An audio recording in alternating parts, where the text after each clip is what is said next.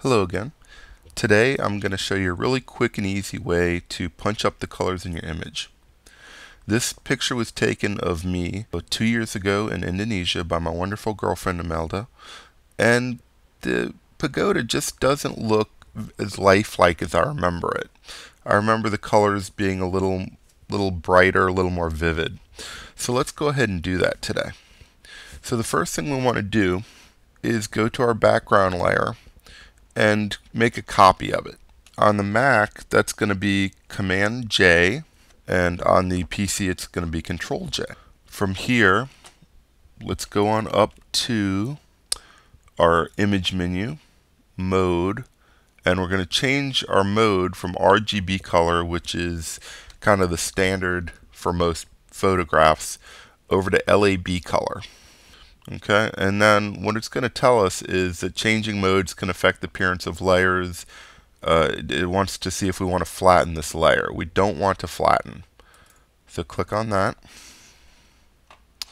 And now we go back to the curves adjustment layer, like in the past couple of videos. Click on curves, and you get the normal curves box.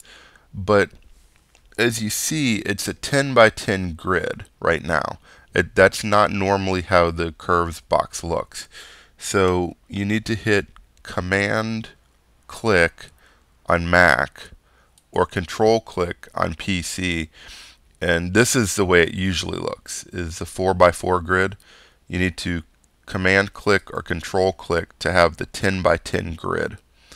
Alright, so very quickly here, what we need to do is go to our A channel and go over and move our endpoint over two grid squares, just like that.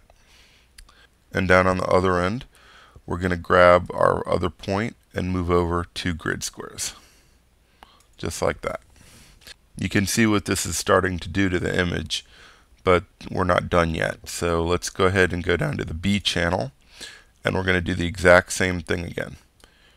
Grab our endpoint, move over two grid squares, and then down on the other end again, grab our point and move over two grid squares. And that's that's the basic technique, but it's a little too vivid now. So what we need to do is go here to our opacity setting.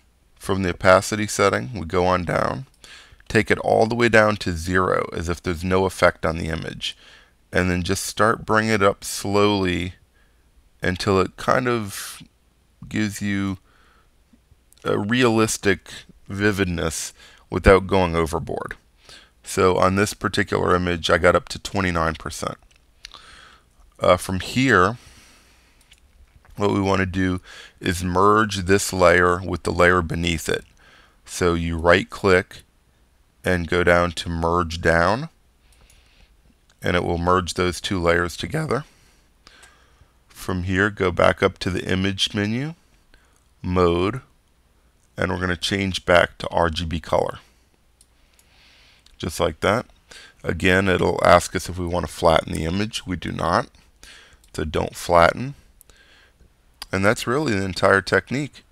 From here, what we can do is go down to the image visibility right here and click on it for before and after. Here's before and here's after. Before and after. And you notice it just brightened it up just enough to still look natural. And even I wasn't really affected very much in this image, although there is a way to reverse that if necessary. So that's just a quick little tip, and uh, hope you enjoyed.